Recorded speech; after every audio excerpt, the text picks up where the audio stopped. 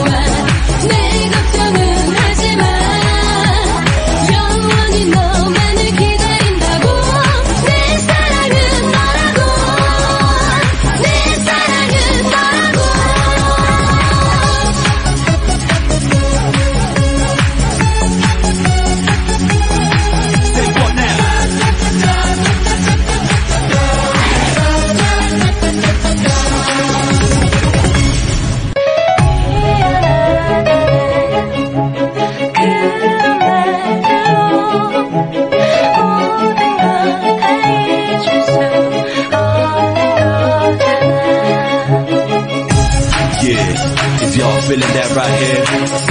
Let's do it like the last album, right? Come on, say, Come on, say, Let's rock this party down. Go now.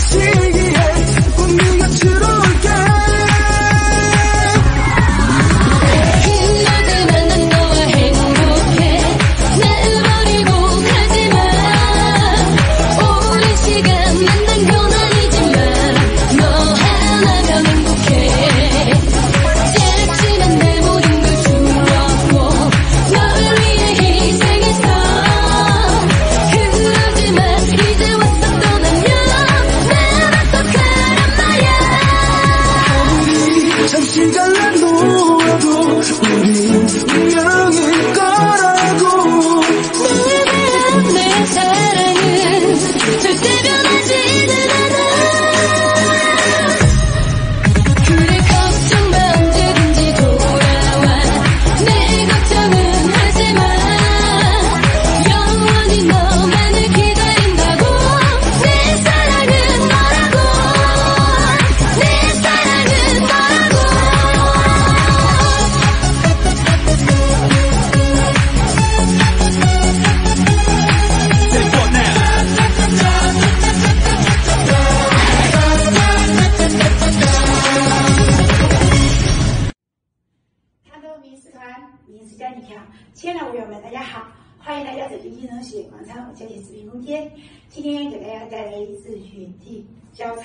第三步。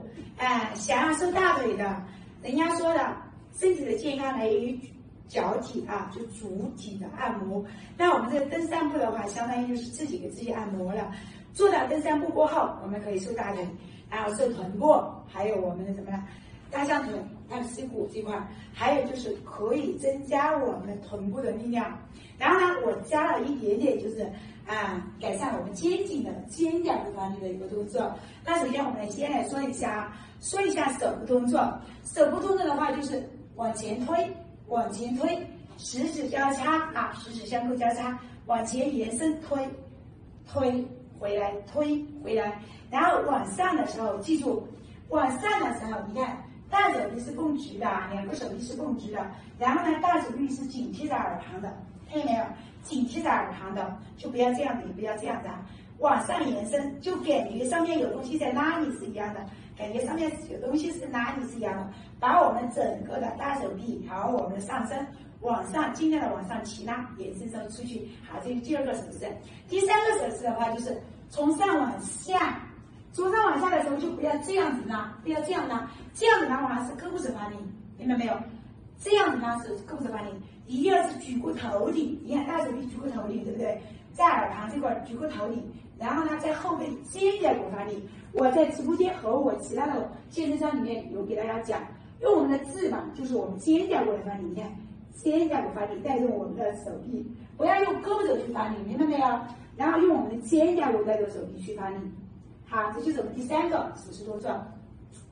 第四个手势动作呢，那就是什么呢？那就在我们这块儿，左右就是左右往外往内延伸的时候，也是用的是肩胛骨发力，肩胛骨发力。好，做腿部的同时，我们把肩部运动也做了。还有就是什么呢？就是往上提拉，然后翻手臂，然后往后扩胸运动，扩胸运动。好，这就是我们第呃六个还是第五个手势动作啊？我记不住了。OK，然后还有一个，就第一个的时候，你看甩手臂的时候，记住了，甩手臂的时候就不要不要这样子，不要这样子甩，一定是绷直的，就像我们走军姿是一样的。好，你不会走的话，就收腹挺胸的同时，你不会，那你的肩就是前上后落落这样走，明白没有？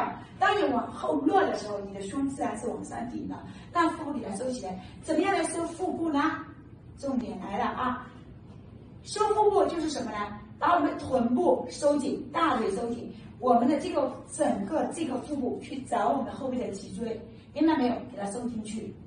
好，不会收的，你看前上后落，自然的我们胸肌挺起来了，对不对？然后肩部运动就做起来了，这样子，然后腹部警惕的去找我们后背的脊椎，就不要这样子啊，不要这样，紧贴的去找我们的脊椎，收紧我们的臀部，收紧我们的大臀部，好吧？这就是我们的细节部分。那最关键的问题就是哪里啊？登山步，名字就叫做登山步的啊健身操。那这个登山步要怎么做呢？首先你学的时候就是脚尖不要离地，脚后跟不要入地。来，我们搂搂一下裤子啊，搂一下裤子啊。来，首先你看，起的时候脚尖不要离地，好，压脚后跟不要入地，明白没有？压压，全部用我们大腿来发力，脚后跟不要沾地啊！压压压压压压压压！你看我脚后跟感觉是沾地了，但是我的鞋子沾地了，我的脚没有沾地，就是说我重心全部在脚掌的这块，就是这样子压压压压压压！你看就是这样子，起这边就要起来，落。起落起落起，就这样子交叉着。那我们前后脚的时候怎么做呢？前后脚要怎么做呢？就是一个在前，一个在后。那这会儿你不会这样走的时候，你看我的演示里面我就这样走的，我就这样走的，稍微脚脚尖稍微有一点点起来的感觉，有点起来的感觉，但是没有起来特别，就不要这样走啊，要这样。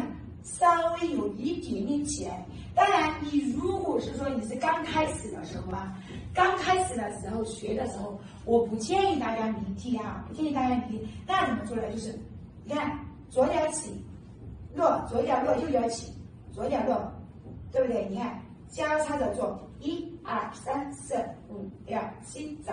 那这块的话，你看大腿是收紧的，那怎么样去收紧呢？两个大腿往内收。相就是夹紧大腿啊，夹紧大腿。然后呢，我们臀部要给它收起来，臀部也是一样的夹紧。还有一个重点的部位，不光是夹紧，还要什么呢？臀部是往上、往后提拉的。你看，往上、往后提拉的，就不要这样子啊，往上、往后提拉的。你看，对不对？胸是顶出去的，那怎么样去顶呢？就是我跟你说的，肩上后落。当你的手臂。肩胛骨后背，肩在后背的时候，胸自然就出去了，腹部自然收起来了。你看，是这样子，交叉也是一样的，交叉也是一样，明白没有？前交叉，后交叉都可以这样做。那这个动作要就是要练习什么呀？就是要练习，你看，起左脚，落左脚的时候，右脚就要起来，压，交替的压，交替的压。然后并脚的时候也是一样的，并脚的时候也是一样的，你看，并脚的时候也是一样的。尽量的，尽量的脚后跟不要落地，但是还有一个关键的部位在哪里？就在我们家人呢，很多啊，他说他站不稳，你刚开始的时候就起一点点，脚后跟起一点点就可以。但是如果你会了过后，就尽量的，你看，尽量的给它起，脚掌一定要，脚后跟一定要起的多一点点，就不要这样子，这样子起来多一点点，你看，起来多一点点，那样子效果才好。如果你只是这样子的话，就没有感觉，只是这样子起一点点脚后跟没有感觉啊，要给它起大一点点，起大一点点啊，这样子去做。当然前期的话，如果你站不稳，那是因为你第一核心不稳，第二就是你脚的力度不够啊，脚的，就是重心不稳，核心不稳，力度不够。练习好了过后啊，练习好了过后，刚开始的时候啊，然后呢你这样子做，轻轻的做就 OK，轻轻的做，你看。轻轻的做，然后慢慢做会了过后，就是大幅度的做，然后你看我们前脚大幅度的去做，对不对？大幅度的去做，这样子做出来，对于我们足底的按摩，它才有一个好的效果。然后瘦大腿、瘦臀部、收紧我们的腹部，对于我们肩颈都是有改善的。这是就是原地登山步的这个操。我们每一天早上和晚上都是必跳的舞蹈，为什么说呢？这个确实有效果，确实好的，还可以提升我们就是我们自身的一个气质形体的塑造，气质的美。希望大家把我的这支健身操带入到广场上里面去。感谢大家的支持，谢谢。